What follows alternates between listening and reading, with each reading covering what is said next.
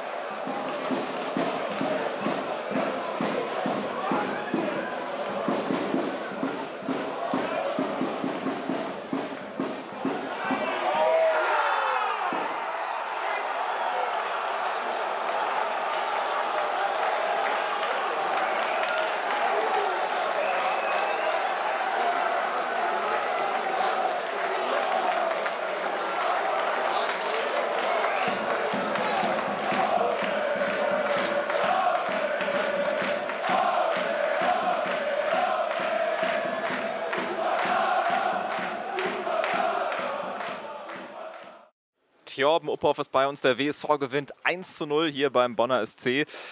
Können wir sagen, äh, unter dem Titel Arbeit-Sieg wird dieses Spiel eingeordnet? Ja, definitiv würde ich sagen. Wir haben in der Halbzeit schon, äh, wir haben vor dem Spiel schon gesagt, dass es brutal schwer hier wird. Und dann haben wir in der Halbzeit gesagt, ähm, oder der Trainer vielmehr, derjenige, der hier das erste Tor schießt, schießt halt super Möglichkeiten, das Spiel zu gewinnen. So ist dann am Ende auch gekommen und so 1-0-Siege sind schon immer die schönsten Siege. Ein Tor geschossen, keins bekommen. Kann man gut mit leben, glaube ich. Jetzt das äh, siebte Pflichtspiel in Folge ungeschlagen. Wie zufrieden bist du insgesamt mit der Performance des WSV heute? Ja, ich denke, wir haben vor allem äh, kämpferisch heute eine Menge reingeworfen. Ähm, dass wir hier nicht mit schönen Spielen nicht gewinnen, das war uns im Vornherein auch bewusst. Ähm, deswegen denke ich, man kann uns kämpferisch nichts vorwerfen. Wir haben heute spielerisch wahrscheinlich nicht unser bestes Spiel gemacht, aber im Endeffekt gibt es auch für einen äh, super rausgespielten äh, Sieg auch nur drei Punkte und die nehmen wir jetzt gerne mit ins Tal und können wir entspannt ins Wochenende gehen und Dienstag gegen Düsseldorf nachlegen, weil nur dann ist der Sieg auch hier wieder was wert. Hand aufs Herz, was hat dein Puls gemacht in der Schlussphase mit Mann und Maus verteidigt? Hätte er nochmal gefährlich durchrutschen können und im Prinzip auch ein 1-1 draus werden können am Ende. Ja, klar, kann es, aber wir hatten, ich hatte auch äh, letzte Woche in Rödinghausen nie das Gefühl, dass es wirklich gefährlich ist. Klar, kann immer mal einer durchgehen, aber wir, haben, äh, wir stehen hinten momentan so gut. Wir haben auch unser, das Matchglück dies, äh, momentan auch auf unserer Seite und deswegen, klar, der Druck wird höher, aber ich war eigentlich mir sicher, dass wir das Ding nach Hause fahren. Und Dienstag geht es schon weiter gegen Fortuna Düsseldorf 2. Tja, Mopper, vielen Dank. Danke auch. Der Siegtorschütze ist bei uns Christopher Kramer. Der WSV gewinnt 1 zu 0. Erstmal Glückwunsch zu diesem Sieg. Es gibt Spiele, Christa, sieht man dich in allen äh, Szenen oder in jeder zweiten Szene. Heute hat man lange nichts von dir gesehen, bis du so richtig zugeschlagen hast. War das äh, Tor Gold wert heute von dir? Ja, ich denke mal schon, wenn man das 1 macht und 1 gewinnt, ist es mit Sicherheit Gold wert. Ähm, ja, es war für, für einen Stürmer heute ein schwieriges Spiel. Ähm, ich habe versucht, der Mannschaft zu helfen, indem ich äh, einfach jeden Abwehrspieler aggressiv angelaufen bin, den Torwart angelaufen bin, die versucht, dadurch zu Ballverluste zu zwingen, dass wir in, die Ball, ja, in Ballbesitz kommen. Und, ähm, ja, und dann habe ich es eben geschafft, in der zweiten Halbzeit mich einmal richtig frei zu laufen vorne vom Tor und dann gleich reingemacht. Du hast einen Glücksbringer-Tape. Ja. Kannst du vielleicht ganz kurz mal in die Kamera halten? Das hast du immer dabei. Hat es heute besonders viel Glück gebracht? Ja, es bringt jedes Mal Glück. Ähm, das ist mir sehr wichtig, das Tape. Ähm, da sind die Initialen meiner Familie drauf und ähm, ja, heute hat man wieder gesehen, es hat Glück gebracht. Und es war ein großes, ein ganz, ganz äh, großes Stück Arbeit heute. Wie anstrengend war diese Partie? ja, besonders in so einem Spiel äh, ist natürlich klar, dass es anstrengend ist, wenn man, wenn man viel anlaufen muss. Äh, Bonn hat es auch äh, zweikampfmäßig gut gemacht. Äh, sie sind sehr aggressiv gewesen. Klar, dass es dann äh, etwas anstrengender wird. Und wenn jetzt jemand überlegt, Christopher Kramer und der Bonner SC, da war doch was. Im letzten Auswärtsspiel 4 zu 1 gewonnen von dir, ein sehr ansehnlicher äh, Treffer aus der Distanz. Ähm, das war das 4 zu 1, aber ich glaube, das 1 zu 0 war schon wichtiger als dieser Treffer. Aber du guckst wahrscheinlich gern zurück auf diesen Treffer. Ja, mit Sicherheit war es äh, viel wichtiger. Ähm, der andere Treffer war natürlich sehr schön. Ich habe sogar mit dem gleichen Schuh gemacht. Ich habe den lange geschont. Ähm, ich habe gedacht, heute muss ich ihn wieder rausholen und äh, war zwar nicht mit dem Fuß, aber es hat wieder mit dem Tor geklappt. Das sind Geschichten, die nur der Fußball schreibt. Es geht weiter, englische Woche, Dienstag schon gegen Fortuna 2, anschließend Kahn Marienborn, zwei Heimspiele. Was erwartet uns jetzt? Ja, ähm, am Dienstag eine zweite Mannschaft. Äh, da weiß man immer, die versuchen viele spielerisch zu lösen. Ähm, das sind noch äh, viele junge, unerfahrene Spieler und ähm, da müssen wir denen einfach äh, den Männerfußball aufzwingen.